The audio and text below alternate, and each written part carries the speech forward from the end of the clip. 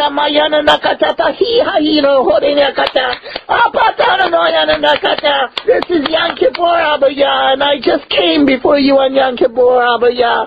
And I just told you, and I did it in tears, and I said, I, I'm weeping before you, and I, as Nico reread a prophecy, Heavenly Father, and one word had been spelled wrong, Heavenly Father, and what was the name of the prophecy? Which word is the name of the prophecy you were reading?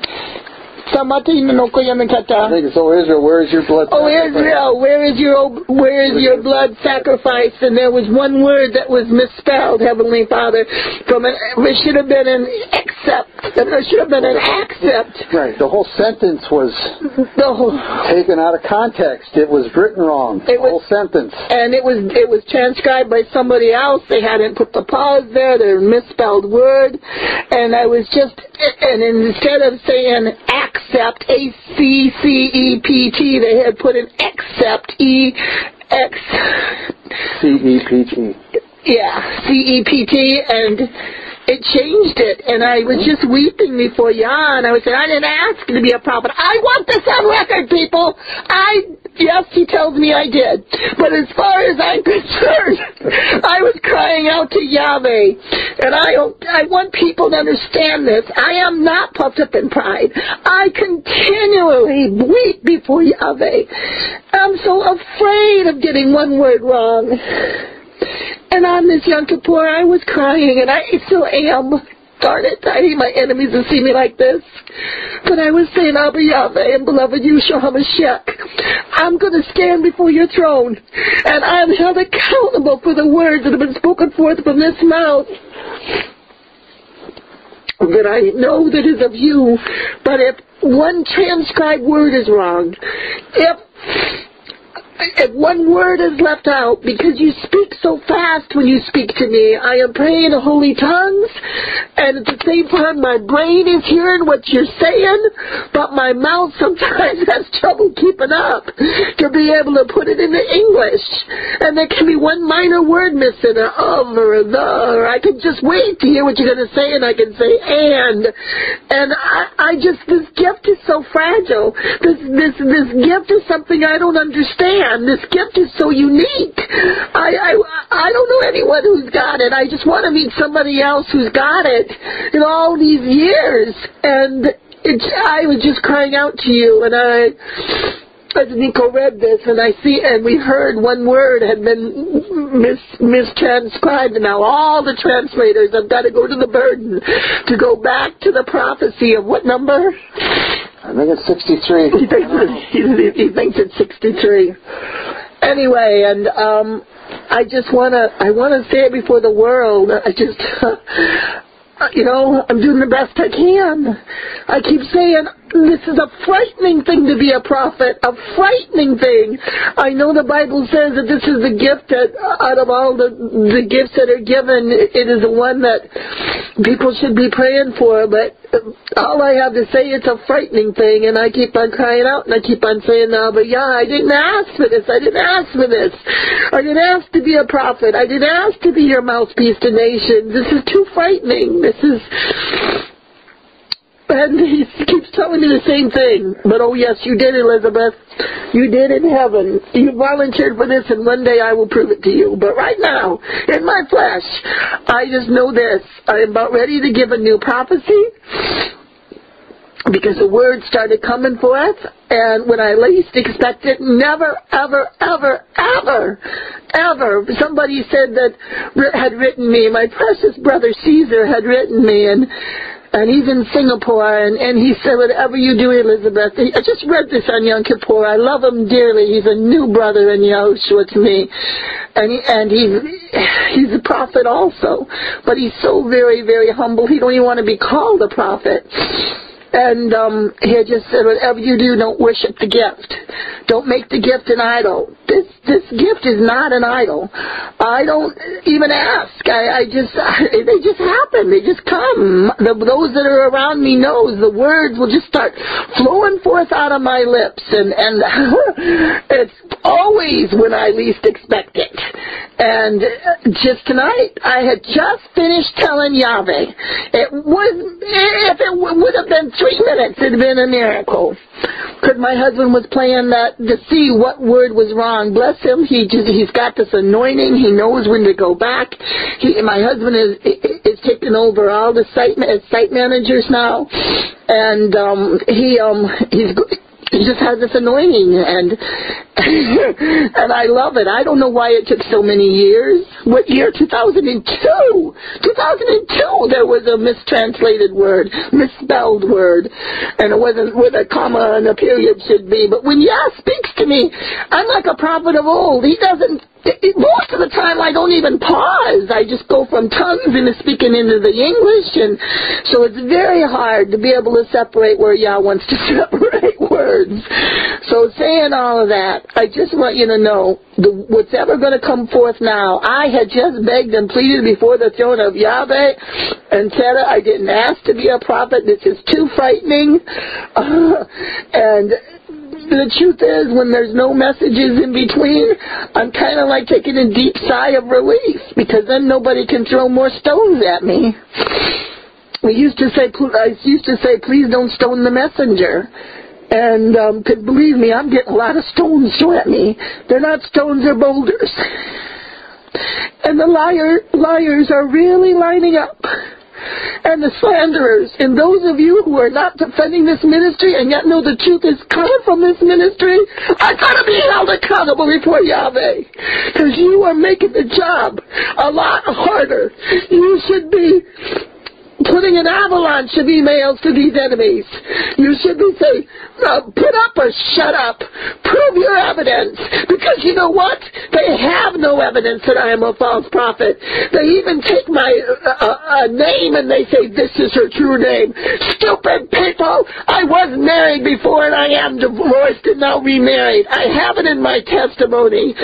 How dare you? How dare you take the lies? I'm an evangelist. I've gone from all over the world. And the reason why we travel is we are evangelists, and I have it in my testimony. I was fleeing from a, a homicidal ex-husband who was I have it all in my testimony. If you are so blind you can't read it, and those of you who believe these lies, you will be held accountable. You will be held accountable.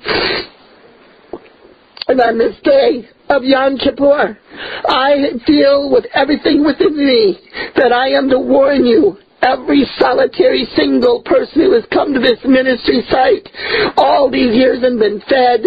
You go to your organized churches. You go on your on Sunday and you put your little offering in the offering plate. You make sure to tithe, but to the place where you get your spiritual meat, to the place that you depend for Yah to speak out of, because it sure isn't in your organized churches the prophets are talking or giving you anything new. You don't give anything. You just think it's free because it's on the internet. You don't count the cost that it costs us. You don't count the suffering that it costs us. You don't count the persecution. You don't count any of it. You just take it and eat and run. You don't even bother to defend when you see us crucified before everyone. You could care less. Do you know why? Because it doesn't cost you anything. It has cost me everything. It has cost me my health.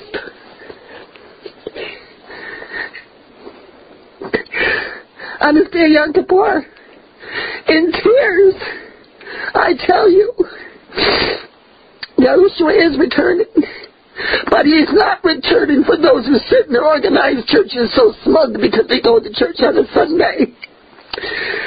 Um, He's not returning if you are not putting him first in your love in your life. He's not, you're not going to see him. You're not going to see him. He's going to leave you in the great tribulation. You're going to wonder why. Those of you who did nothing to defend me, those of you who absolutely have not lifted a finger to support this ministry, we are in so many languages now. 14 languages at least and more coming.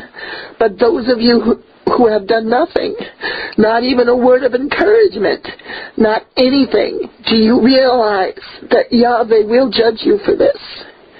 Do you realize that even if you make heaven, do you realize that rewards will be taken away from you, that you did do good for him here on this earth?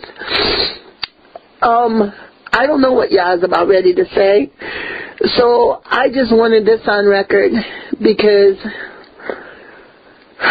like I said, it's like the more languages we reach, oh, so many souls are coming to Yeshua HaMashiach. And Oh my, are the liars lining up? The slanders, the servants of Satan, the children of Satan. I can take it from the Satanists. Hey man, they send their curses and their spells and they, they do their rituals and their sacrifices and they send their hate mails and they, and they threaten my life and all this garbage, their witchcraft, all that garbage. But you know who's the hardest ones to take it from? Those who claim they pray in the name of Jesus Christ. Those who claim they're on their way to heaven. Those are the ones that's the hardest because they're not even. They're not even a Christian. They only have a name. They have no relationship with Yahshua. They have no Christ in them. They are not anointed. Or they would know that any ministry that has been on the internet since 1995 and I am an ordained licensed pastor. Big deal. My true ordination comes from heaven. And, um, yeah, even had the hands laid on and I'm an apostle. Big deal. In his world's eyes, that doesn't mean anything but to have another person lay hands on you and get ordination. Sir, my ordination is being an apostle and a prophet comes from heaven. And guess what? What's his name? What's his name? What's that guy's name in New Zealand? I always forget. Uh, Andrew Strom. Andrew Strom in your prophet school. You can take your prophet school and you know where you can shove it. You cannot teach anyone to be a prophet, and you cannot charge anybody money to be a prophet. You are a liar. You've been a liar since I met you in 1995, and you put me on that hit list of yours. You were on Yahweh's hit list, Andrew Strom. You say to beware of those who preach that you have to obey the the the Ten Commandments and what is it that I all get accused of, honey, and and who believe the uh, the um, tell others that if they don't honor the Sabbath day and keep it holy, beware, run from anybody who preaches the Torah. Run from them. Well, guess what, Andrew Strom? You, you were a Satanist back then and you're a Satanist now. I want this on record in 14 different languages. Andrew Strom is a Satanist. Do you hear me? You are a Satanist. I know you started out in witchcraft, and I know that was your testimony. And Pamela Martin, she she put me on her hit list. That was your friend. She's still there in Texas, and I haven't forgotten you, Pamela Martin. I haven't forgotten what you did, and I haven't forgotten Andrew Strom said there was no such thing as a pure word of God, that it all had to be flesh, and he put me down for it in 1995, and I haven't forgotten Pamela Martin, on that telephone that you told me that you feared Andrew Strom because he had powers, and you said that they were satanic powers. Guess what, Andrew Strom? Guess what, Craig Martin? I haven't forgotten you. I haven't forgotten any of you. And um, I just want this. Now he attacks me. Yeshua hasn't forgotten. Yeshua on Yom Kippur hasn't forgotten you. Yahweh wants this on record. He hasn't forgotten you. You who call yourself Malcolm Heap, you heap of dung. You who write a book about Elijah and now claim you're Elijah. You who go and put these websites up and slander and defile me. You so-called Christian counselor named Stephen Rossi Sr. You who I once called brother brother and mentored. You who Prophecy 111 was for as a blessing and you spit out as a curse because you don't want to get a divorce because it costs too much money. You are no Christian counselor. You are Satan in disguise. You are a Judas, and I decree it before the world. And not only that, I don't decree it, but man, you're in trouble. Because on Yom Kippur, I didn't know any of this was going to happen. I just started praying in holy tongues. Yahweh wants you to put you on notice. You know the fate of Judas? Judas? Guess what?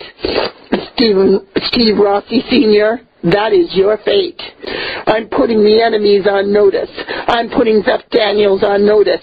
Yahweh remembers you. He remembers you on this day of Yom Kippur because you are a part of all of it. And I know there's so many others. People, I need your help. Holy ones, if this ministry has blessed you in any way, prove it. Prove it because you are going to have to prove it before Yahweh one day. What did you do to lift any of the burdens off of us? What did you do in any way, shape, or form to help us? Did you help us? Did you hinder us? Did you encourage us? I mean, nice wor- words are nice, and we appreciate the encouraging words, but we need help. We must have help the job is so big. We're reaching so many nations now. We're trying to warn about Sherry Shriner. We're trying to warn about Linda Newkirk. Linda Newkirk, we just had somebody just write us and tell us she's holding people in hostage.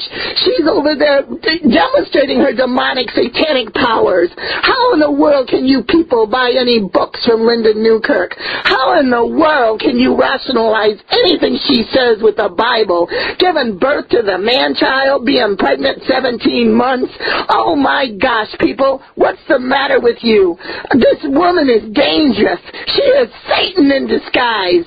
And, uh, and Sherry Shriner, oh my gosh, you're out there and you're, you're burying orgone orgone that is a tracking, tracking her special orgone that's supposed to keep the the aliens away. That's supposed to keep the demons away. That's supposed to be destroying the spaceships in the sky. Are you really that stupid? I'm sorry, but Abba Yahweh is angry. You call yourself by the name of Christian, and there's no Christian in you. You depend on a on a, a woman to sell you the orgone to plant in your yard, to plant all over the world. Do you not understand? Did you not read the holy prophecies? You have attracted sickness to you. You have attracted demons to you by doing this. You have you have attracted the aliens. Don't worry when the UFOs come. They will be you, they will know where you're at. Um, you are going to be held accountable for everything you've done. To say that anything can can stand against a demon other than the name and the blood of Yeshua HaMashiach, you are truly, truly, truly, truly blind, and your ears are truly, truly deaf, or you are under spirit of mind control, mind manipulation, which you are if you're following Sherry Shriner or Linda Newkirk. This we are going to post the letters that have been coming in warning about Linda Newkirk this woman is dangerous, dangerous. She has people coming to her property, telling them to come. She's going to keep them safe. She locks them in a shed she calls a, a, a place to sleep, and then she makes sure the padlock is on the outside so she can lock you in. I'm telling you, people, you're, you are going to be held accountable. I mean, why is this the prophet the one that has to raise up and warn people on these diabolical enemies? Why do I have to be the one. And their list is so very long. Rick Joyner in the, in the Manifested Sons of God movement. You do not even begin to comprehend the fact of why his name is Morning Star Publishing. His name and himself, who was the morning star that fell from the sky? Does anybody understand that that was Lucifer? Do you not understand what the Manifested Sons of God movement is all about? They are decreeing that they are God for crying out loud. Wake up! People! Wake up! I am like a prophet of old, and I am fed up. I am fed up with the stupidity. I am fed up with the deaf ears. I am fed up with the blind eyes. Let the scales fall off your eyes and see what is going on. And that's what I have to say on this Yom Kippur. I know that Yah has got a message. It started coming forth. I started speaking in holy tongues, but this is a day of judgment also. This is it. Some of these things that, all of these things that I have named, not some, everything that I, that has been put upon my heart. Yahweh is angry. He is angry. Where are the other translators that have been called called to be part of this ministry? Why are you not volunteering your time? We get these emails and saying, "Oh, I I have been called to be your translator, but it will cost this you this much money." What? We don't charge anything for putting the prophecies up and they're in English. Why then, if you who believe that this ministry is speaking forth the truth, why then would you say, I would have to pay you this much money? Our translators work hard. They hold down full-time jobs and yet they devote so much time to taking the holy prophecies, to taking the, the messages off of this, this ministry, and they put it in all these different languages. I cannot even tell you how much they suffer to do this, how much time they spend doing it, how much sleep they lose. I cannot even begin, but their rewards will follow them to heaven. They will meet the souls as we will meet the souls, and they will all be thanked personally as they stand by our side. We know when we leave this earth, we will leave with the greatest reward of all, that we led souls to Yeshua HaMashiach, that we preached holiness. So that's what I have to say on this Yom Kippur. Now I'm going to see what else Yahweh has me to say because all of this, all of this is on Yah's heart right now. All of this. Yahushua is returning. The great tribulation is almost upon us. And woe be unto you over there at Jim Bramlett's site on the Five Dove. Jim Bramlett, you're in big trouble. You are in so much trouble. You are going to stand before Yahweh, and you are going to be held accountable for every time somebody's was all excited and this is the day Yahushua was coming. This is the day of the rapture. And every one of you in the Five Doves Forum who has taken, who has also done this along with Jim Bramlett. Every one of you who said, this is it. This is the day. Uh, that pastor. What's that pastor's name, honey? F.M. Riley. Oh, F.M. Riley. you Baptists, you. You really are going to stand before Yahweh in a big, big way. You who teach people that they can sin and, and it doesn't matter what they're doing or it don't matter if they're in the act of adultery. It don't matter what you're doing. As long as when you, as long as you know this. You see, you, you, this is your gospel. Not the Bible gospel, F.M. Riley. You are going to stand before an angry Yahweh. You will find out. You will find out for what you have done. You have taught the people they can sin, and yet they will still be raptured and go to heaven. It's okay. Just as long as you say that salvation prayer. Don't worry. Be happy when the rapture comes. You're not going to be in the great tribulation. And F.M. Riley, I have watched you on Five Doves give date after date after date. Marilyn Agee, I know who you are. I started out with you in 1995. You have done the very same thing. This is the year of the rapture. This is the month. This is the Rosh Hashanah. This is the day of Pentecost. I don't know. All you at Five Doves have got so many different dates. And the people are devastated each time that they they they really believe it. Some will even get saved because they're afraid of getting left behind, and so they'll rush to their knees and fall on their knees and say, "I don't want to be left behind." Um, F.M. Riley said, "This is the day." Jim Bramlett said, "This is the day." Marilyn Agee said, "This is the day." Guess what? All of you are going to be held accountable because these precious souls, when that happens, and they go and they fall on their knees and they repent before Yahushua and they give their life to him, and then the day passes. No rapture. Why in the world would they believe Yahushua for anything else that he forgave them of their sins or anything else when you lied to them and promised them a rapture? You promised them that certain date. And five doves, I'm woe beyond to you. On this day, Yahweh saying everybody who's taken part in the five doves. I, am going to name some names. Donna Cothran, I don't know why, but Yah's naming your name. You used to be part of this ministry. You used to, to give me words of encouragement. Now you sit at five doves and you believe the lies. Now you take part of the, uh, in the lies. And you are going to be held accountable. I don't know why Yah is putting these certain people on me right now. I don't understand, but you're going to hear the message. Everyone, everyone, five doves, beware of five doves. They're, they build you up for a big letdown, and they're all going to be held accountable. Yahweh is not taking this lightly. He does not take it lightly when you stand out and you say, this is the day. This ministry does not do that. I have been told, I, I have, I have I have positively, and I stand before Yahweh right now. Angels, holy angels came to me and told me that they would return and tell me the date. I, it is not anything of my flesh. I have seen them. I have touched their wings. I, my testimony is down there. I know that he has called me his ring maiden. I know that I know that I know. You can mock me all you want, enemies. It is not a name that I made up for myself. That's so stupid. but I know that I know there has to be a crier that cries out, Behold the bridegroom doth come. And I know that I know that I know that what Yahushua has spoken to me shall come to pass, and the holy angels will return, and I am not going by anything other than what Yah has said. Yahushua is returning on Rosh Hashanah. It shall be on a Sabbath, and praise Yahushua, we don't have to go by the sun calendar, otherwise that's 2020. We've been told to go by the moon calendar, the way that Yah originally set it up. So, all these things are on Yah's heart on this Yom Kippur. I didn't know I was going to have a Yom Kippur message. I didn't know any of this.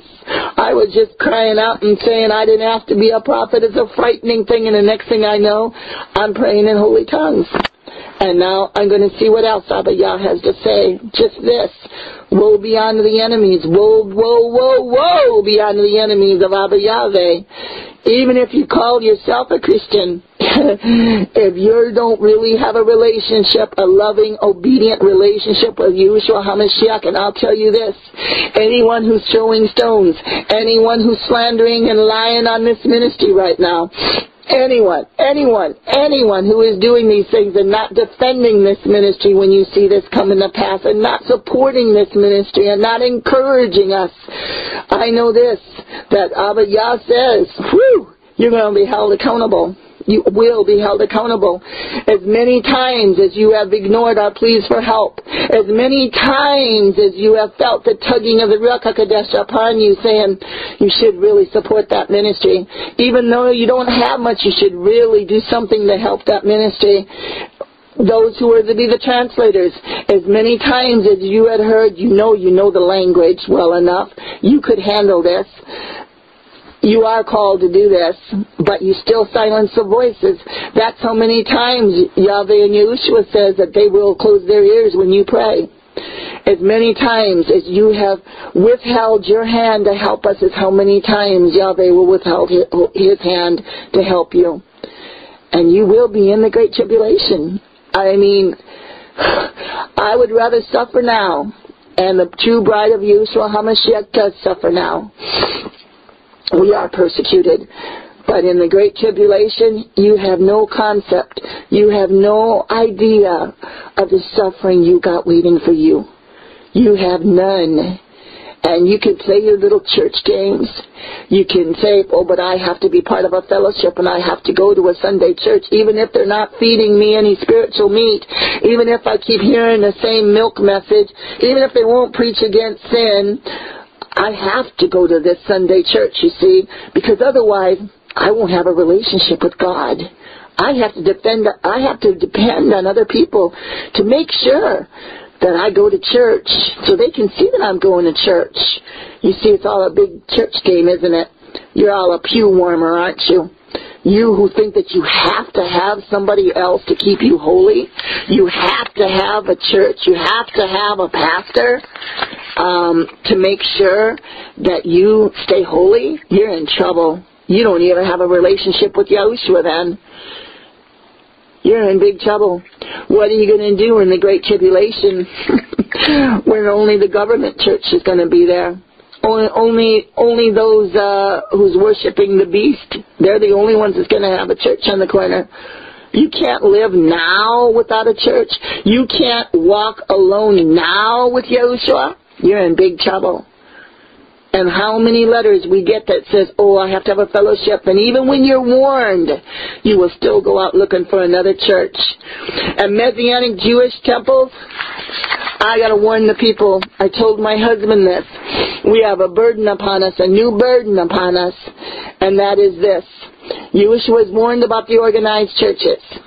But now, who are the churches of Babylon? You go to your pastor, and you who sit in the organized churches, and you have warned them and you have told them, look, this isn't really the Sabbath, but your pastor has patted you on the head and he has said, it's okay, any day will do. And they've taken that scripture that Paul has spoken and they've twisted it. Again and again, the word has come forth and said, Paul was speaking to the Jews when he said, let no man judge you on which day is the Sabbath. But again and again and again, you've, you, you've taken that lie. You believe that lie. You trusted that pastor. But now let's get to the Messianic Jews. You've taken out the name Yah and the name Yeshua. You put the name Yes there. What is a Yes? The Father's name isn't Yes. But the Father Abba Yahweh's name is supposed to be included in His only begotten Son, and it's called Y-A-H, Yah. How many Messianic Jewish temples are following the Orthodox ritual, man-made traditions? How many are, are just totally, totally getting so far into the Orthodox Orthodox Jewish ways, the legalistic ways, that they are forgetting to tell the people, like on Yom Kippur right now, we have atonement for our sins. We do not have to grieve this day. We can be comforted and know Yahushua is our Mashiach. He is the perfect blood atonement. He is the only holy blood atonement that was made for our sins we are forgiven. Those of us who truly, truly believe we are blood washed with his shed blood, those of us who live our lives each day to please him, we have a comfort today. We do not have to beat our chest and say, oh, whoa, whoa, me, uh, uh, uh, I am a sinner. No. Each and every time that we do anything to offend our Abba Yahweh, each and every time we quickly say, Oh Yahushua, please forgive us. We do not premeditate sin. We do not purposely sin. When you purposely sin, you're in trouble. You are mocking the blood of Yahushua. And the Bible says, Be holy as I am holy. So don't just go running to any Messianic Jewish temple. You better be careful and, and uh, some of these so-called rabbis, they don't know better. They don't understand. They were taught their name was Yeshua. Like I was first taught the name was Yeshua. I didn't know better. So you tell them in a nice way. And you say exactly, and if you want to hand them uh, one of the prophecies given to me, but don't be surprised if it isn't thrown back in your face. Because these so-called rabbis, they don't believe that a woman should be a leader. Boy, have Nico and I ever found that out the hard way.